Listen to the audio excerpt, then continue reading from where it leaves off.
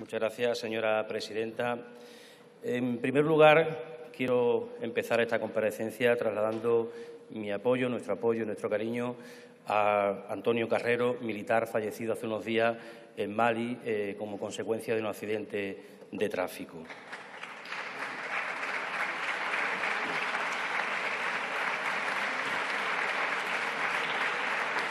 Tengo que empezar diciendo desde Unidos Podemos hemos vuelto a ser el grupo que más iniciativas, que más enmiendas hemos registrado en estos eh, presupuestos correspondientes a defensa. Iniciativas serias, es decir, calidad y cantidad, iniciativas serias, rigurosas, eh, apoyadas y eh, trabajadas, por ejemplo, con todas las asociaciones de las Fuerzas Armadas. enmiendas como un plan de integración laboral, como una auditoría en los programas de armamento, como la modificación del régimen retributivo del personal de las Fuerzas Armadas para que, contemple que entren también las horas de sexo, trabajada un plan de infraestructura dotado de más de 45 millones de euros, un plan especial de género y de acoso, dotar de recursos a las asociaciones de militares, aunque ya la ministra ha demostrado el respeto y que no cree mucho en las asociaciones eh, de militares. Y también algunas otras iniciativas, como por ejemplo eh, una enmienda para compensar algunos municipios, son pocos, pero que soportan una importante servidumbre militar y que ello pues dificulta el desarrollo económico de esos municipios como San Fernando, Rota, Barbate, Ferrol, etcétera. Eh, este anteproyecto de defensa, por segundo ejercicio, eh, ha subido lo que son los presupuestos de defensa. En palabras del secretario de Estado de Defensa, el Ministerio de Defensa ha recuperado su presupuesto a antes de la crisis. Es decir, me sorprende que sea o que solo sea el Ministerio de Defensa el que se haya recuperado y el que se haya recuperado antes, habiendo otros ministerios con cuestiones sociales también muy eh, importantes. En cambio, nosotros observamos que este aumento no beneficia o que no está pensado para eh, lo que la ministra viene repitiendo muchas veces que es el principal valor de las Fuerzas Armadas, pero que después no lo pone en la práctica, que son las personas, la gente, los militares, los hombres y las mujeres que componen las Fuerzas Armadas. En todo caso, y como, viene haciendo la tónica habitual, Defensa sigue manejando eh, unos presupuestos iniciales incompletos y con partidas correspondientes a esta sección diluidas en otras de los presupuestos generales del Estado. Además, sigue vigente la praxis presupuestaria en lo que se refiere a la falta de rigor y de realismo y le puedo poner el ejemplo de las operaciones en el exterior, la 128, 228 y 628. Se presupuesta 314 millones, pero se, va a gastar mil millones. Por lo tanto, no son unos presupuestos reales. Es un presupuesto en el que se presupuesta una cantidad, pero después se gasta mucho menos. Parece que no se han enterado todavía de la sentencia del Tribunal Constitucional que dice que esas cosas no se hacen así y del Tribunal de Cuentas que dice que el Ministerio de Defensa es el más opaco de todos los ministerios.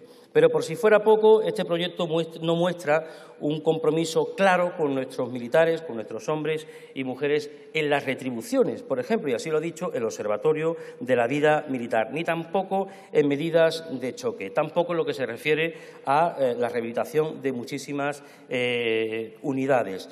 Hoy ya de la conciliación familiar ni siquiera hablamos. Eso sí, eh, seguiremos escuchando a la ministra decir que las Fuerzas Armadas lo más importante son las personas. Pero claro, eso no basta con decirlo. Hay que poner en práctica dentro del presupuesto pues, políticas para dar eh, eh, de respuesta a toda esa reivindicación que hacen nuestras, nuestras Fuerzas Armadas. Pero claro, dice usted, vamos a subir el 8% en tres años.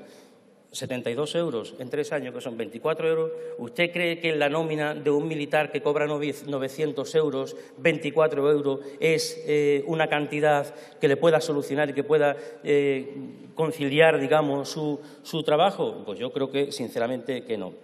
Es decir, yo eh, me gustaría, señora ministra, que usted me explicara cuál es su modelo de ejército. ¿Su modelo de ejército cuál es? Gastarse 30.000 millones de euros en un programa especial de armamento y tener a la tropa y marinería cobrando 900 euros. ¿Eso es para usted un modelo de ejército moderno? ¿O que se expulse a la escala básica por cumplir 45 años cuando tenemos la cúpula militar más envejecida de Europa? ¿Eso para usted un, un ejército moderno? ¿O ningunear a las asociaciones y negarles los derechos laborales que le piden? El día 12 se manifestaron todas las asociaciones y usted todavía ni las ha recibido ni les ha dicho absolutamente nada. Ese es el respeto que tiene usted por los militares, por nuestros hombres y por nuestras, eh, por nuestras mujeres. En este momento hay dos militares de San Fernando en la puerta del Ministerio esperando que usted les reciba. ¿Ese es el ejército moderno que usted quiere? ¿El que los militares tengan que hacer huelgas de hambre en la puerta del Ministerio reivindicando cuestiones sociolaborales que usted no atiende? ¿Ese es su modelo de Fuerzas Armadas? ¿El modelo moderno? ¿Ese es el del siglo XXI? Por eso nosotros hemos dicho que no a su presupuesto, porque usted no está comprometido con los hombres y mujeres, usted está comprometida con las empresas armamentísticas y no con los militares, porque si no, la subida, en vez de estar pensando ya en un nuevo ciclo, inversor, como dice usted, es decir, en rehipotecarse otra vez, pues hubiera pensado en unas retribuciones justas, en poner los acuartelamientos decentes, en una subida salarial, es decir, y no en un modelo de Fuerzas Armadas insostenible.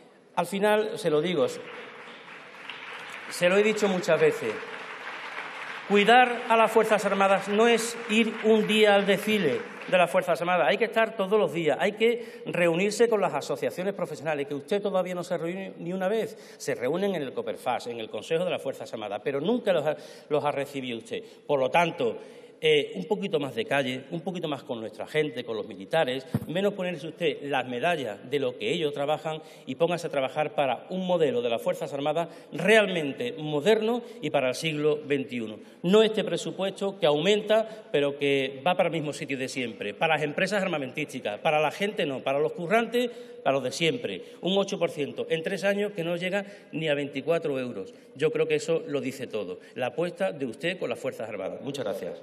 Muchas gracias.